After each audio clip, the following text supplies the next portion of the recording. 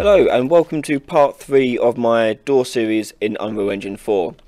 Previously we made a proximity door which opened when the player got near it. Secondly we worked on a similar concept but this time the player needed to push a key on their controller or keypad, or keyboard sorry. And finally we're now going to do a keycard door, so a door that requires a particular pickup like a keycard before it can open. So this one is the most advanced one. Um, I highly recommend that you do the first two before this as we're going to move on with the same code as we have previously uh, done before. Okay, so let's begin. So the keycard door, let me show how it works, has a few added tricks to it.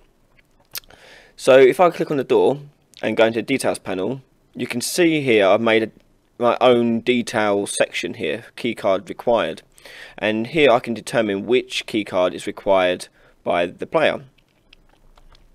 And the keycard here allows me to enter a corresponding value. So that means I can make this keycard open up all the same doors. So if I wanted them to be color coded I can be and make them all color coded um, or can make them individual. So that keycard only opens up that door. Okay so it's quite flexible and really easy to get going uh, into uh, a level. So let's begin.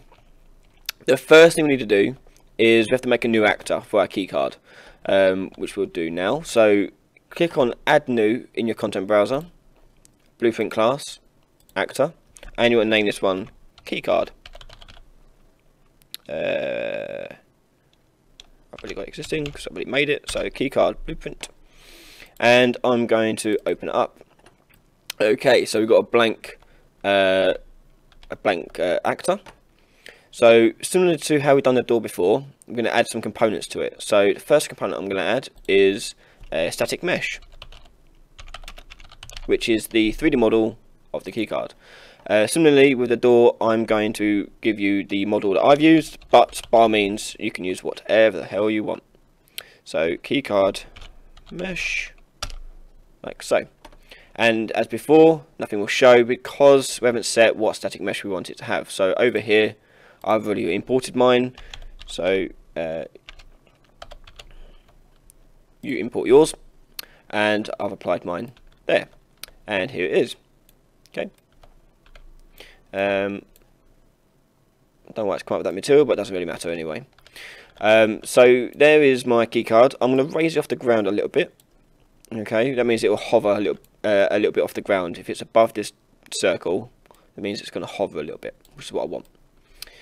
Uh, next up I need to make a collision mesh. Uh, sorry not a mesh a collision uh, box. So type in box collision. And you can see the box appear again. So I'm going to scale this down and move it so it's over the key card roughly. It doesn't have to be exact because the player is a big thing and it'll walk right through this and pick up no problem. Um, we don't need to separate the box and the mesh out because they're not moving away from each other, they're always staying together so it doesn't really matter. And for added effect I like to put on a rotating movement on my pickup so it makes it nice and clear that hey player you can pick me up. So click on add component and go rotating movement and it is. So rotating movement, if you you can see if it works by clicking the simulation button up the top here, and you can see it rotate. It's just a nice effect. Um, I tend to like it. You don't have to do that though. It's not essential. Okay.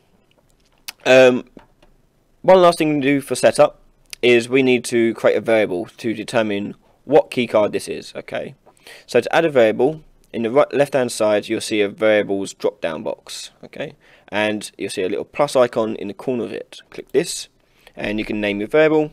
So my one is going to be called keycard underscore value. And with that selected, go to your details panel for your variable. Okay. Now by default it will be down as a boolean. Uh, we don't want it as a boolean because um, well it's not a boolean. Okay, a boolean is a true or false statement. What we want is an integer. So click on integer from the drop down box and uh, an integer is a whole number. Okay, so to get to show up in our details panel so we can set it while we're building a level, click on this editable tick box. And that now show in the details panel when we uh, place it into our world. And click compile. Okay. Right, that's our keycard ready to go. We just need to uh, code it to be picked up. So, before we get to that though, uh, we need to make it so it's able for the player to pick this up and for the player to remember what was the keycard value of the key this keycard that it just picked up. Keep in mind your world could be filled with these things. Um, you can have as many as you like, really. Um, so you need to make sure the player can remember which one they picked up. So we're going to close this temporarily. We're going to come back to that soon. And you want to find the player controller, uh, not player controller, the uh, first person character actor. So I'm going to go into first person uh, blueprint folder, go blueprints and first person character. Uh, now I've already got it in here, so I'll delete that so you can put in it again from scratch. And uh, this is the character blueprint for the first person example. Okay, so if you're using your own project, you'll have your own uh, player character, um, but nonetheless, you just get open up the actor that is the player character. Okay, and you want to make a new variable for the player character. So click on the little plus symbol again, and you want to name this one um, keycards. So this one we want to keep as a boolean, okay, and we want to change it though from a normal variable to an array. And to do that, next to this drop down on the left on the right hand side in the details panel, click on this icon here and you get another drop down. And the one you want is the one that says array, which is the grid of uh, nine squares. Click this and that is now an array. So an array is essentially a list, okay, a, a list that is storing different values. So this is a boolean array, so it's going to have a list of true and false statements. Click compile and you can now on the right hand side in details add as many key cards as you like so I can have if I have, three key cards in my world to be collected I would add three options I've got 0 1 and 2 okay so how many however many keycards you want to be able to be collected in the world you make that list here okay so I've got three and you can always delete some oh uh, whatever you like okay so I've only got one. I'm just to do one for now. But um, you do however many you need to do. Okay. And click compile. And that's done. You can close that out. So the way this works is that when the player walks over the keycard, the game will look at what keycard value is, go into that array, and make it true. Okay, currently it's all false. So it'll look for in that array, that list, and look at, okay, have they collected 0, 1, 2, and it'll be yes, no, no, yes, whatever. Okay. I hope that makes sense. Arrays I know can be a little bit confusing for people that are not used to them or haven't really done anything with them before. Um, but hopefully uh, this makes sense. I'm trying to explain it as best I can. So, anyway, back to our keycard. So, go back to your keycard blueprint and open it up. And now we're going to code onto here uh, the action of adding to that array. So we don't need any of this stuff. We can delete that. And you want to click on the box component, right click, begin overlap. And on begin component overlap and box. So very similar to the door, we want to cast it to the first person character first. first person character, and hook up other actor to the object. Okay, so once again, cast basically checks whether or not the thing that's overlapped this keycard is a first person character. Because you don't want your enemies walking over it and picking it up, you want the player to pick it up.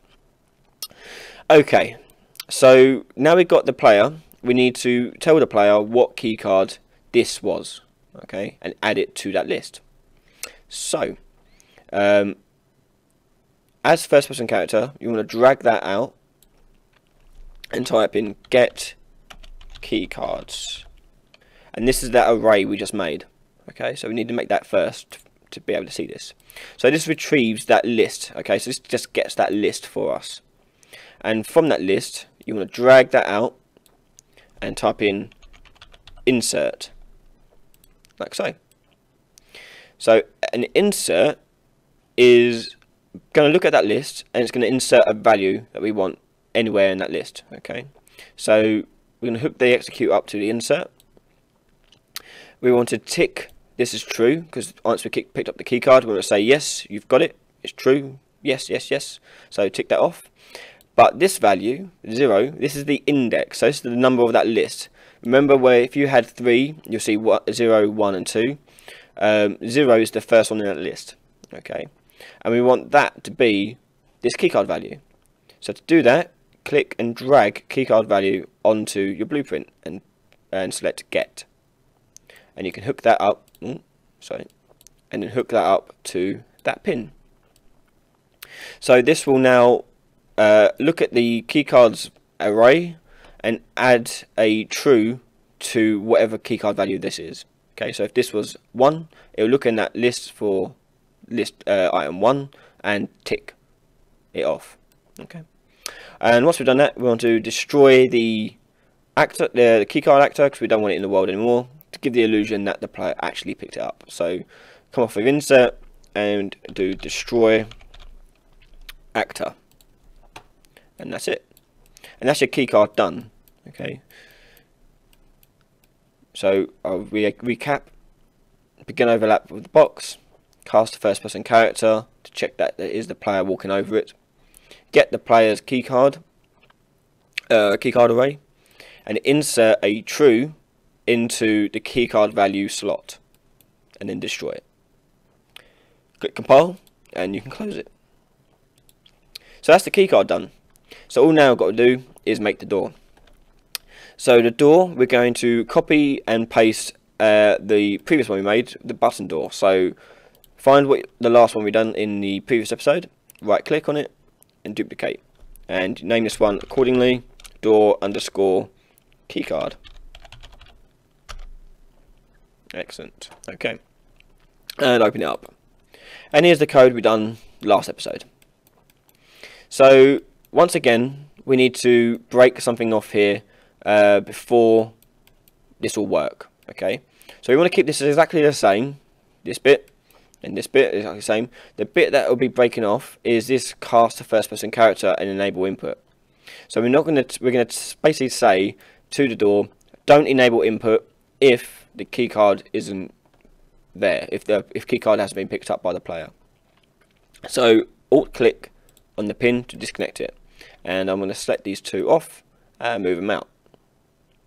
Okay.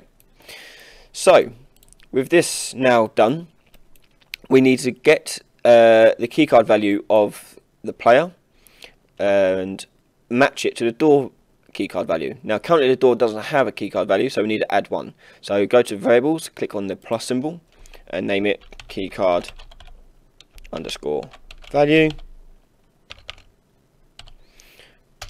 and you want to change it from a boolean to an integer and tick editable so editable again means that it'll be uh, I can change it in the editor as I'm building a level, which is what I want. Okay, so um, begin overlap to cast first, first person character. Uh, we now want to get that keycards list. So drag off first person character, get keycards. So now we've got the keycard list of the player that's walked through it. Excellent. So now we're going to see through that list, going to sift through it and check whether or not the keycard value that matches this door is true. So for that we're going to do a for each loop. So come off of the cast and type in for each and you'll see a for each loop. And you'll see it requires an array and hey presto we have an array to give it. So link that up to that. So a for each loop what it does it'll cycle through and loop through all elements of the list, all parts of the list. So if your list is five times long, it'll go through all five elements of that list. What we want to do is loop around and check for the one that matches the keycard value of our door and check whether or not it's true. So on the loop body, we're going to come off of there and do a branch. And a branch uh, is an if statement. So it basically says if the condition is true, come off of here. If it's false, come off of here. It's that simple, really. And you want the true to hook up to enable input. So I'm just going to move this all along so it looks a bit neater. OCD kicking in there. Okie dokie. So we've got the branch. We just need to get this condition out of it. Okay. So the condition we're looking for is we're going to look at the, array and see whether or not it's true or false based on this keycard value. So um, with the um, oh my mine's gone blank. Right, yes. So you want to get the value. Yeah, keycard value. You want to get this, and you want to check for array index is matching keycard value. So array index equals integer. So what this does, it'll look for uh, and look for the array index that matches the keycard value. So if the keycard value of the door is zero, and that means this will come off as true on the first loop round. Probably not explaining myself very well, but hopefully you guys are following me, following along, uh, hopefully well enough. So if that is comes off as true, so if that is equal to that and it's true, we want to also check whether or not the element of it is true as well. So you do an AND boolean. Move this to the side. And I'm going to hook that up to the bottom one and hook the array element to the top one and then hook that up to the branch. So this will look for the keycard value that matches uh, the array index. So if it's 0, it's 0 and it comes off as true and it's going to look for whether or not the element of that array index is true or false. If it's true, then this will come off. So an AND, both of these have to be true for this to come back as true, and which then files off down as true line. If this comes back as false, meaning that you don't have the keycard yet, then this will spit out false, meaning that now no, it, the door won't enable the input, it won't do anything. And you could, if you like, bring on here like, a warning message saying need keycard first or whatever, but we're not going to bother with that for today. Um, and that's it really, and it should hopefully work. So I'm going to close it um, and go back to my start and quickly plant it in the world. So keycard I'll put on the floor there.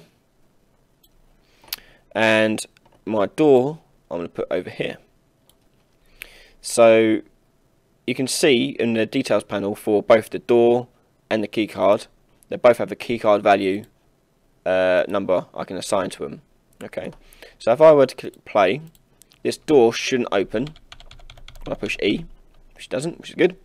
So I should be able to pick up this key card, so it disappears, walk up to this door, push E, it works. Hey presto. Now to show you what happens if you change the keycard value, so if my keycard value is now 1, this now does not match that door. So I can walk over, pick up that keycard, but if I walk up to this door, it won't work. Okay, so you need to have them matching for the door to open. So what that means is now I can add loads of doors and loads of key cards and make certain key cards open up certain doors and so on and so forth without any issues. And that's basically it for our door tuto uh, tutorial. Um, that's three episodes in. Um, I hope that you followed along and it made sense and you learned a lot. Uh, we're going to go into a bit more detail stuff later down the line. Uh, if you do get stuck and don't know how, how to fix it, please leave a comment. I'll try and get back to you uh, with a response of how, how to fix it or make a new video. Uh, plus, if you want uh, certain videos made, you want to know how to do certain things, just drop us a comment uh, below this video and let me know and I'll review it and see if we can make a video to solve whatever you want to make. Okay, and that's it. For That'll do for today. If you like this, please like the video and up upvote it. Share it and subscribe. Leave some comments. Uh, let me know if you like this sort of thing. And uh, catch you again next time